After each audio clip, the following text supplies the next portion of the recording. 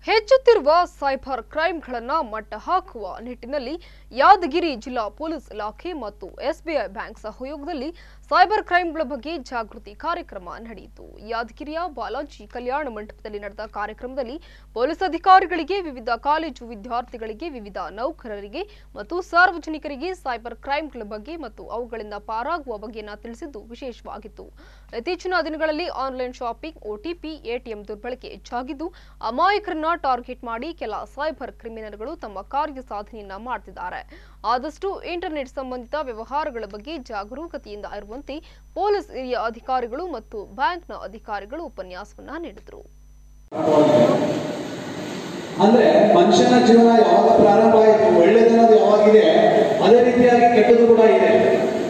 ಅಂದ್ರೆ ಮನುಷ್ಯ ಅವನ ಜೀವನ ಪ್ರಾರಂಭ ಆದವನು ಕೂಡ ಅಪರಾಧ ತಮಗೆಲ್ಲ ಗೊತ್ತು.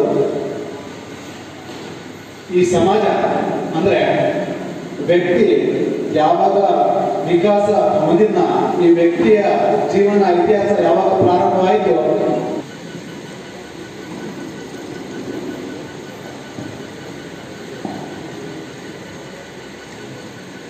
ಯಾದಗಿರಿ ಜಿಲ್ಲಾ ಪೊಲೀಸ್ ವತಿಯಿಂದ